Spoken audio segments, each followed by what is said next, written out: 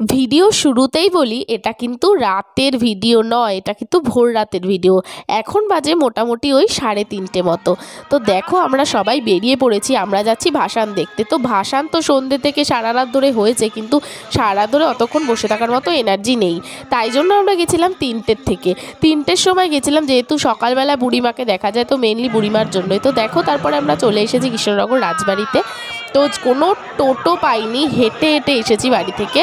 বেশিক্ষণ লাগেও না যদিও আমাদের বাড়ি থেকে। তারপরে দেখো, শুরু হয়ে গেছে এখানে বিসর্জন। আর ওখানে দেখো ওই যে সাঙে নিয়ে যাচ্ছে। সাং মানে হচ্ছে এখানে কৃষ্ণনগরের ঐতিহ্য যে ঠাকুরগুলোকে সব এরকম কাঁধে চাপিয়ে নিয়ে যাওয়া হয়, বাঁশ দিয়ে খাঁচা তৈরি করে। তো দেখো পরপর ঠাকুরগুলো যাচ্ছে। তোমরা কারা কারা কৃষ্ণনগরের ভাষণ দেখেছ অবশ্যই কিন্তু জানিও কমেন্টে। আর এখানে কিন্তু শুধু ঢাক বাজানো হচ্ছে, ঢাকের আওয়াজ। তো দেখো এটা যাচ্ছে হচ্ছে মাতা রাজেশ্বরী। প্রত্যেকটা ঠাকুর একদম সাবেকিয়ানা সাজে সেজে উঠেছে। মায়ের মানে দর্শন, মায়ের মূর্তি দেখে কিন্তু পুরো রীতিমতো আপ্লুত আমরা। আর এত লোকের ভিড় ছিল মানে মনেই হবে না দেখে যে এখন ভোর রাত। সকাল হবে হবে করছে। তো দেখো, চারিদিকটা তোমাদের দেখাচ্ছি, এত লোক, আর এখানে দেখো কি সুন্দর ঢাক বাজানো চলছে, অসংখ্য ঢাক মানে এক একটা ঠাকুরের সাথে প্রায় একশোটা করে ঢাক রয়েছে। এত ভালো লাগে না দেখতে, এটা সত্যি মন ভরে যায়, মনে যেন অন্য দুনিয়াতে আমরা চলে যাই। আর পর পর কিন্তু ঠাকুর আসছে। আর কৃষ্ণনগরে এটাই ঐতিহ্য যে যে কোনো ঠাকুর, শুধুমাত্র জগদ্ধাত্রী পুজো বলে নয়, দুর্গা পুজো বা কালী পুজো বা সরস্বতী পুজো, যেই পুজোই হোক না কেন, সমস্ত ঠাকুরকে কিন্তু রাজবাড়ি ঘুরিয়ে তারপরেই ঘাটে নিয়ে যাওয়া হয়, কদমতলার ঘাট, অর্থাৎ জলঙ্গিতে কিন্তু সমস্ত ঠাকুরের বিসর্জন হয়। আর তারপরে দেখো এটা তারপরে দেখো আরেকটা ঠাকুর চলে এসেছে। তো এত ভার, জানি না এরা কি করে কাঁধে তোলে, এত ঠাকুরের ওজন আর ওই লোকগুলো কীভাবে মাকে তুলে নিয়ে যায়। এটা আমার দ্বিতীয়বার সেকেন্ড টাইম প্রথমবার দেখে আমি খুবই আপ্লুত হয়েছিলাম। আর মানে আশ্চর্য হয়েছিলাম যে এত ভারী ঠাকুরকে কি করে নিয়ে যাচ্ছে এখানে। তো দেখো পিছনে আবার ঠাকুর চলে এসেছে লাইন দিয়ে অলরেডি আর এত ভিড়, আর প্রচুর পুলিশ আর র্যাব ছিল। যেহেতু প্রচুর মানুষ এসেছে গণ্ডগোল হওয়ার চান্স ছিল। তো প্রচুর পুলিশ এবং র্যাব ছিল, সবার হাতে লাঠি ছিল, সবাই মিলে খুব খুব সাহায্য করেছিল। আর এটা দেখো, এটা হচ্ছে সেরামা। তো প্রত্যেকটা ঠাকুর কিন্তু ভীষণ সুন্দর। নিজের সাজে সুন্দর। আর প্রত্যেকটা ঠাকুরের গায়ে কিন্তু পুরো অলঙ্কারে সজ্জিত। আর এগুলো কিন্তু খোলা হয় না। একবারে ঘাটে গিয়ে তারপর সে সোনার গয়নাগুলোকে খোলা হবে এবং ঠাকুরকে বিসর্জন দেওয়া হবে। তো দেখো, এত দারুণ লাগছে দেখতে। মানে সত্যি মনে হচ্ছে যেন তাকিয়ে দেখেই যাই। তো তারপর দেখো ভোর হয়ে গেছে। প্রায় এই ঠাকুরটা অনেকক্ষণ ধরে দাঁড়িয়েছিল কারণ একই রাস্তা দিয়ে আসছে এবং যাচ্ছে। তো রাস্তা ক্লিয়ার না থাকলে তো এরা যেতে পারবে না নিয়ে, তাই জন্য অনেকক্ষণই দাঁড়িয়েছিল এখানে। তারপর দেখো প্রায় ভোর হয়ে গেছে, এখন মোটামুটি পাঁচটা সাড়ে পাঁচটা হয়তো বাজে। তারপরে দেখো পিছনে আরেকটা ঠাকুর আসছে। তো পরপর কিন্তু এভাবে আসতেই থাকে। লাস্টে হচ্ছে বুড়িমার বিসর্জন হয়। সমস্ত ঠাকুর হয়ে যাওয়ার পর বুড়িমা সবার শেষে যান। তারপরে কিন্তু ওই সাঙের ঠাকুর বিসর্জন শেষ হয়। আর পরবর্তীতে আরও যে সমস্ত ঠাকুর, প্রচুর পুজো হয় যেহেতু প্রথম দিন সাঙের যে সমস্ত ঠাকুর যায়, তারা কিন্তু যায়। আর দ্বিতীয় দিনে হচ্ছে গিয়ে গাড়িতে সমস্ত কিছু ঠাকুর যায়। তো দ্বিতীয় দিনের ভিডিওটা কিন্তু তোমাদের সাথে পরে একটা ছোট্ট পার্টে শেয়ার করব। আজকে শেয়ার করছি হচ্ছে সাঙের ঠাকুরের ভিডিও তো ভোররাতে আমরা এসেছি, প্রায় সকাল হয়ে গেছে, আমরা একটুখানি বসার জায়গা নিয়ে এসেছিলাম। তো এখানে একটু বসছি, আবার দাঁড়াচ্ছি। আর এত ভিড় মানে কি বলব, বসলে যেন পাড়িয়ে দিয়ে চলে যাবে। তো তারপর দেখো, এখানেও যাচ্ছে যে ঢাক বাজিয়ে ঠাকুর।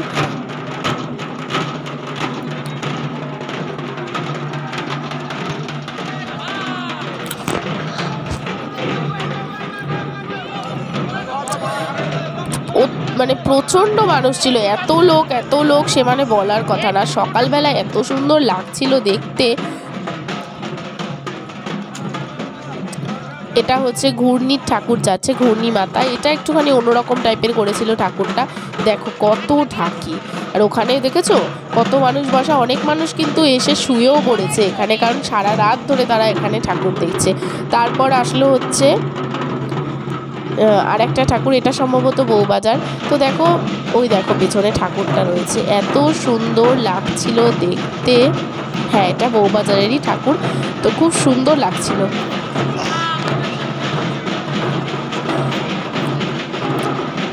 তোমরা কিন্তু অবশ্যই আমাকে কমেন্ট করে জানিও যে কেমন লাগল এই বিসর্জনের ভিডিওটা। আর কারা কারা কৃষ্ণনগরে বিসর্জন দেখতে এসেছ বা বিসর্জন দেখেছ, সেটাও কিন্তু অবশ্যই কমেন্টে জানিও। তোমাদের কাদের কাদের বাড়ি বাড়ি কৃষ্ণনগর? সেটাও কিন্তু অবশ্যই আমাকে কমেন্ট করে জানিও। তো ইনি হচ্ছে মা মহেশ্বরী। আর প্রত্যেকটা ঠাকুরকে অসংখ্য অলঙ্কারে সজ্জিত। মানে বলে না যে শালঙ্কারা রূপে এসেছে, সত্যিই তাই। দেখে যেন সত্যি মুগ্ধ হতে হয় একদম। তো এই যে মা মহেশ্বরী এখন ধীরে ধীরে এগিয়ে যাচ্ছে। আর এত বিরাট ঠাকুরগুলো আমি জানি না কীভাবে সম্ভব বা এরা কীভাবে তুলছে। তো তারপর যাচ্ছে আবার আর একটা ঠাকুর।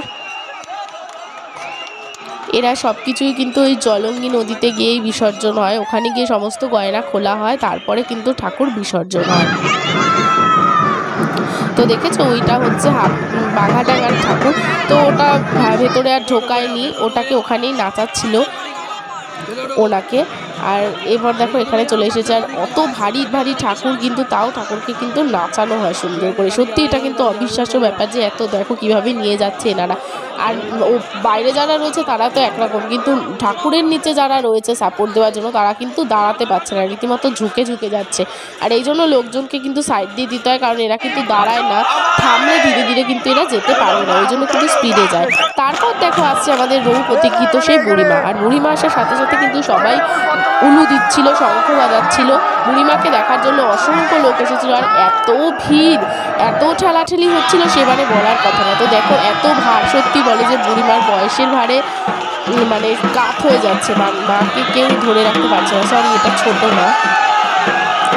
বুড়িমার ভিডিওটা মানে বুড়িমাটা আরও পরে আসবে বুড়িমা।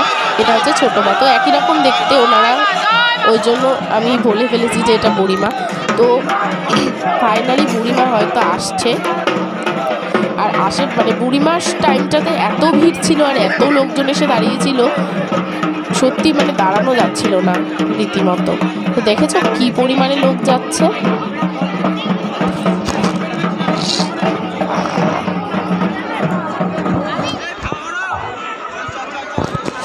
যে চলে এসেছে বুড়িমা।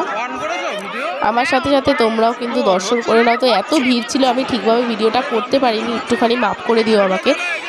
তো এই হচ্ছে বুড়িমা। বুড়িমা এখানে এসে বুড়িমা কিছুক্ষণ দাঁড়িয়েছিল। আগের বার বুড়িমার বাঁশ ভেঙে গেছিল। তো তারপর কিন্তু বুড়িমা অনেকক্ষণ দাঁড়িয়েছিল। সেই বাঁশ এনে আবার দড়ি টড়ি দিয়ে ঠিক করা হচ্ছে জানি না এবার কী প্রবলেম হয়েছিল সেটা দেখতে পাইনি। কিন্তু দেখলাম যে দড়ি টড়ি দিয়ে সব কিছু বাঁধছিল। মনে হয় ঠিক করছিল। আর এত ভার বুড়িমা যে মানে তোলার সময় কিন্তু রীতিমতো বেঁকে যাচ্ছিল। সোজা হয়ে কিন্তু চলতে পারছিল না, সত্যি কথা। এত ভার আর এরা কীভাবে তুলেছে আমি জানি না কীভাবে সম্ভব হয়েছে। তো দেখেছ, লোক, লোকের মাথা মনে হচ্ছে লোকে খাচ্ছে। এত ভিড় এত ভিড়। তো কেমন লাগছে দেখতে অবশ্যই কিন্তু কমেন্ট করে জানিও আমাকে।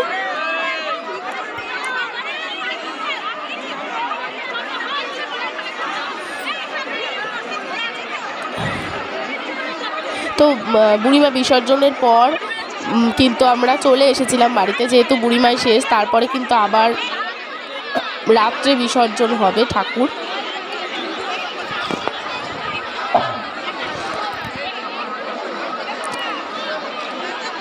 তো ভিডিওটা এখানে শেষ করছি, কেমন লাগল অবশ্যই জানিও সবাই। যারা ফেসবুক থেকে দেখছ, আমার পেজ তনুশ্রী ডায়েরিকে ফলো করে দিও। আর যারা ইউটিউব থেকে দেখছ, তারা কিন্তু অবশ্যই চ্যানেলটিকে সাবস্ক্রাইব করে আমার পাশে থেকো। আর আমার ভিডিওগুলো দেখে জানিও যে কেমন লাগল তোমাদের ভিডিওগুলো। তো দেখো সবাই এখানে বুড়িমার ভিডিও করছে। সত্যি এত সামনে থেকে বুড়িমাকে দেখা ভাগ্যের ব্যাপার।